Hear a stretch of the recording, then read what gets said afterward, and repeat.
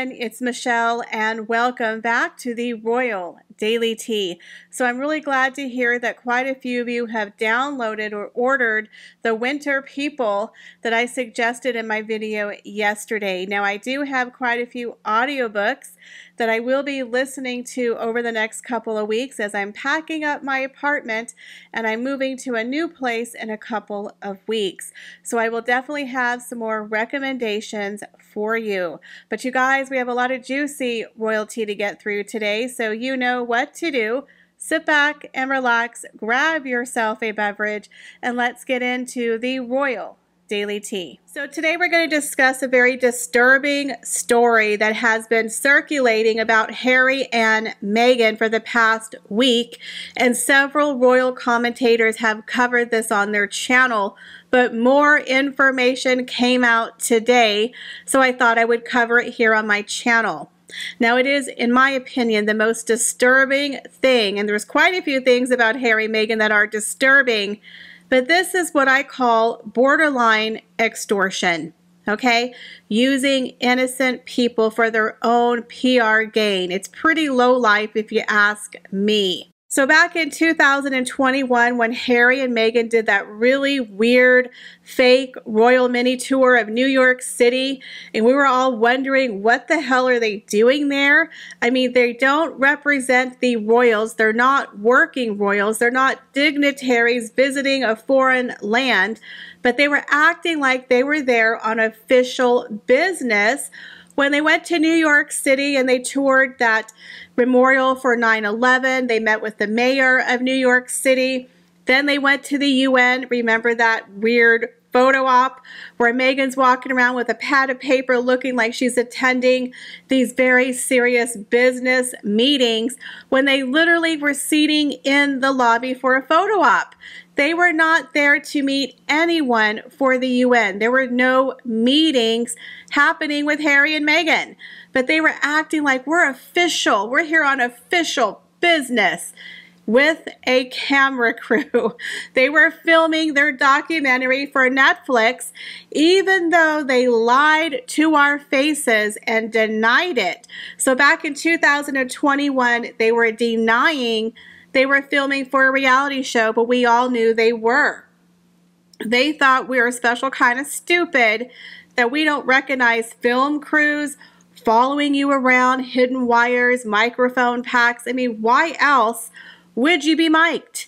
Give us a break. But back in 2021, they thought they were smarter than us and they were there on official business as unofficial royals visiting New York City, meeting with the mayor, touring the 9 11 memorial, going to the UN for photo ops in the lobby.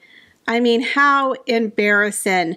They were also there for that weird vaccine equity where they were standing on stage, you know, giving that speech, and she wore that marshmallow dress. And she was walking around town, New York City, with those very heavy coats and really weird, ill fitting pantsuits that were very, very expensive. So while they were in New York City, one of their stops was to an elementary school in Harlem. I believe it was called the 123 Mahalia Jackson School where they were going to read from her brand new book, The Bench. At this time, she was really trying to plug the bench, and they thought it would be a great idea for Meghan and Harry's PR that they would stop by this really poor school that 91% of the students are Hispanic or black and they're all on public assistance. They come from economic hardships. Their parents are probably on welfare and all of them get school lunches. This is a very, very poor inner city school in Harlem that Meghan and Harry decided would be really good for their PR for them to show up and act like they care. You know, because Meghan Markle is such Snow White, y'all. She really cares for the kids. So they showed up with two boxes, according to an insider, of rotted food and a couple copies of her book, The Bench. But it gets even worse.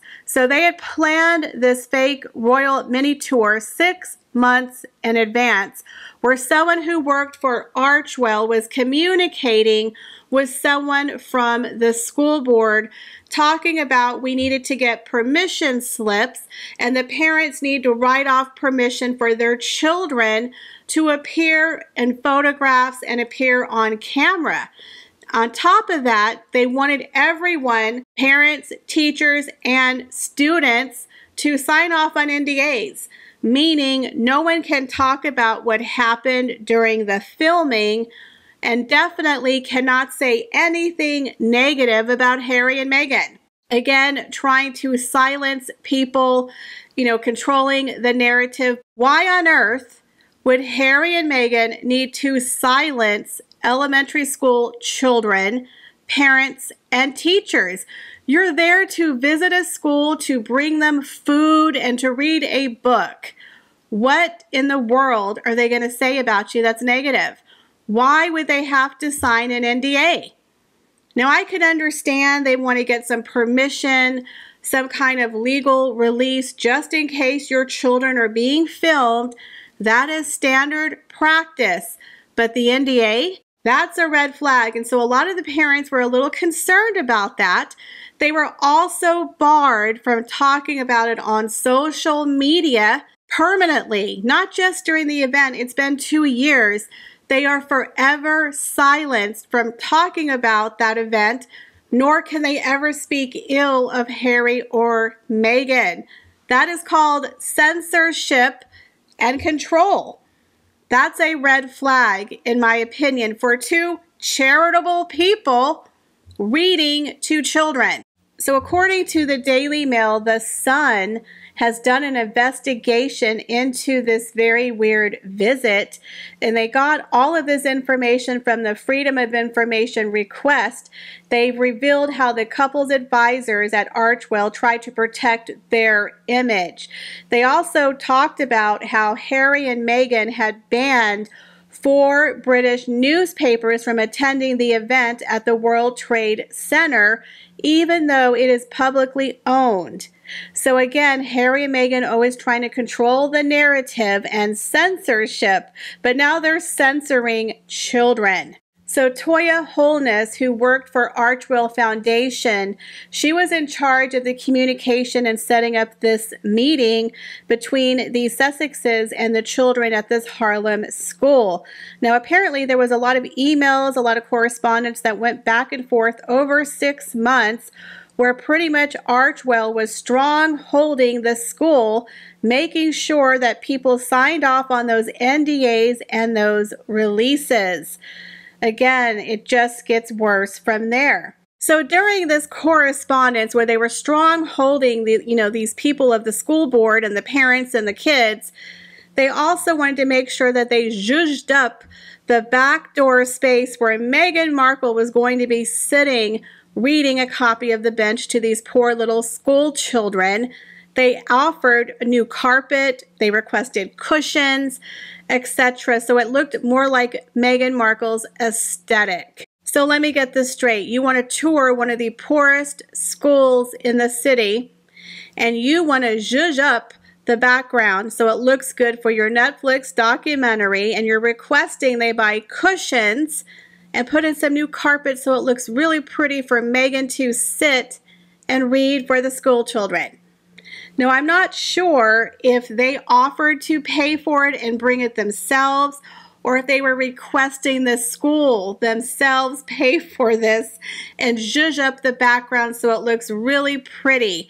And if you look at these photographs, it looks like a movie set. They have these nice little woven baskets and you got all the copies of the bench sitting next to Meghan, and she's sitting there in her $5,000 suit reading to kids who come from a poor family.